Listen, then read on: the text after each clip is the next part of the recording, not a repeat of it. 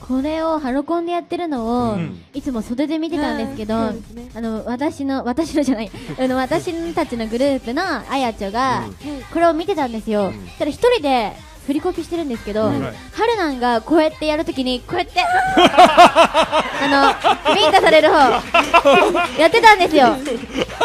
それ目撃して後ろから見て笑ってたんだよね。なんか飯熊さんにビンタされてる。うん出る袖が、うん。スマイレージが片方、はい。三人三人でその後この後の曲でええ。出るときに和田さんとかなと福田さんはいはい。で出る袖だったんですけど、うん。かなと福田さんが遠くに行ってるときに、うん。和田さんがこれを袖からずっと見ながらこうやってやってるのを見て そう見てて。可愛いなって思い最初なんか何やってるんだろうって思って、何度か見たら、うん。その時にはるなんがこう叩く方だってことを発見して、うん。おーやってるな おおやってるやってる。はい。ビンタされてんなーされてるよみたいな。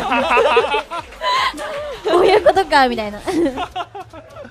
その光景最高ですね。和田さんもなんかすごい領域に今行ってますね。意外とあやちょ振りコピするの好きだよね、どの曲もいつもこうやって乗ってる感じ、えーまさかでもビンタされる側にそうね。なんですよする側じゃない。大体する側に行くじゃないですか。そうです一人でこうやってあそれすごいわ。すごいなはい